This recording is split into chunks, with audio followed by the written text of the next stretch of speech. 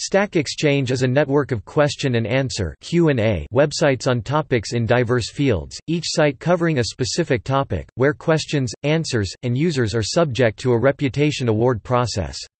The reputation system allows the sites to be self-moderating. As of September 2018, the three most actively viewed sites in the network are, Stack Overflow, Super User, and Ask Ubuntu. All sites in the network are modeled after the initial site Stack Overflow, a Q&A site for computer programming questions created by Jeff Atwood and Joel Spolsky.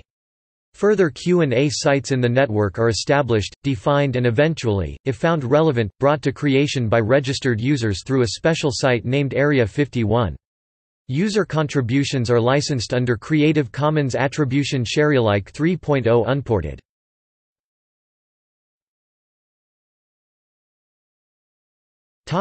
History In 2008, Jeff Atwood and Joel Spolsky created Stack Overflow, a question-and-answer website for computer programming questions, which they described as an alternative to the Programmer Forum Experts Exchange. In 2009, they started additional sites based on the Stack Overflow model, Server Fault for questions related to system administration and Super User for questions from computer power users. In September 2009, Spolsky's company, Fog Creek Software, released a beta version of the Stack Exchange 1.0 platform as a way for third parties to create their own communities based on the software behind Stack Overflow, with monthly fees. This white label service was not successful, with few customers and slowly growing communities. In May 2010, Stack Overflow, as its own new company, raised $6 million in venture capital from Union Square Ventures and other investors, and it switched its focus to developing new sites for answering questions on specific subjects. Stack Exchange 2.0. Users vote on new site topics in a staging area called Area 51 where algorithms determine which suggested site topics have critical mass and should be created. In November 2010, Stack Exchange site topics in beta testing included physics, mathematics, and writing. Stack Exchange publicly launched in January 2011 with 33 websites, it had 27 employees and 1.5 million users at the time, and it included advertising. At that time, it was compared to Quora, founded in 2009, which similarly specializes in expert answers.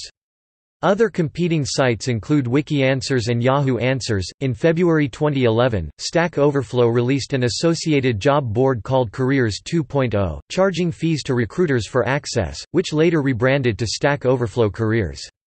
In March 2011, Stack Overflow raised $12 million in additional venture funding, and the company renamed itself to Stack Exchange, Inc. It is based in Manhattan, New York City. In February 2012, Atwood left the company. On the 18th of April 2013, CipherCloud issued Digital Millennium Copyright Act (DMCA) takedown notices in an attempt to block discussion of possible weaknesses of their encryption algorithm. The Stack Exchange crypto group discussion on the algorithm was censored, but it was later restored without pictures. As of September 2015, Stack Exchange no longer refers to the company, only the network of question and answer websites. Instead, the company is now referred to as Stack Overflow. In 2016, Stack Exchange added a variety of new sites which pushed the boundaries of the typical question and answer site. For example, Puzzling offers a platform for users who already know the answer questions to challenge their peers to solve the problems unlike traditional QA sites where the poster does not know the answer.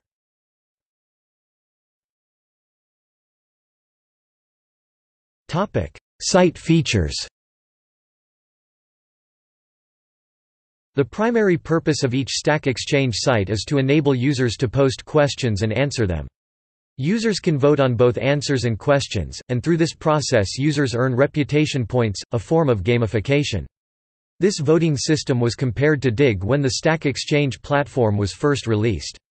Users receive privileges by collecting reputation points, ranging from the ability to vote and comment on questions and answers to the ability to moderate many aspects of the site.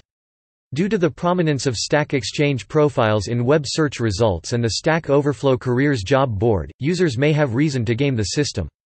Along with posting questions and answers, users can add comments to them and edit text written by others. Each Stack Exchange site has a meta section where users can settle disputes, in the style of MetaFilter's.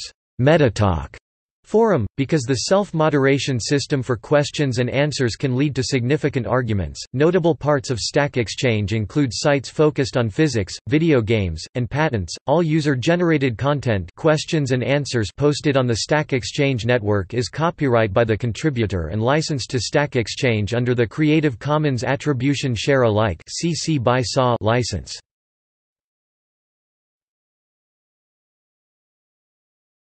Topic: Technologies used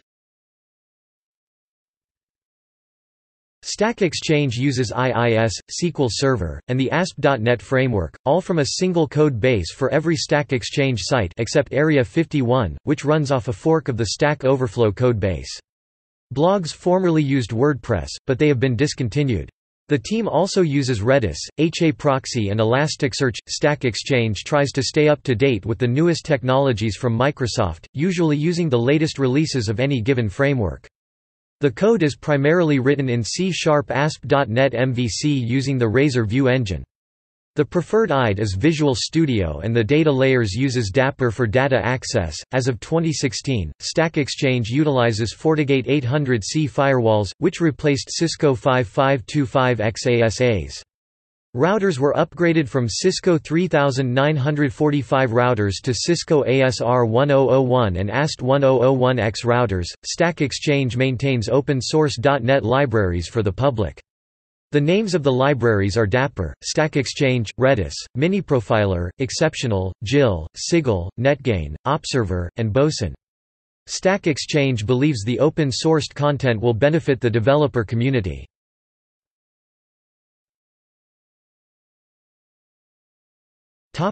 Site creation process Every new site created in the Stack Exchange network goes through a detailed review process consisting of six steps. Discussion – The Stack Exchange meta site should provide a forum for discussing potential new ideas labeled a future Stack Exchange site. Proposal – A public proposal must be drafted and posted so that any member of the community can discuss the proposal and vote on it. This allows a collaborative proposal to emerge over time. The proposal must address these four key issues the topic of the site. The targeted audience. 40 exemplary questions, upvoted at least 10 times from the community. 60 followers from the community.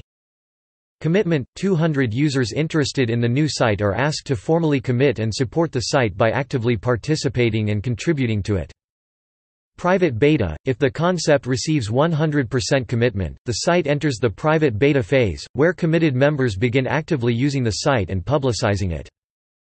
Public beta – The site is open to the public for a long period. This allows the creators to ensure that the site reaches critical mass before it is fully launched. Graduation – The site is evaluated on multiple criteria such as the number of answered questions, new questions per day, and registered users. If it meets these criteria and is deemed sustainable, it is granted a graduation and fully launched. Topic see also Ask Ubuntu Q&A software MathOverflow PhysicsOverflow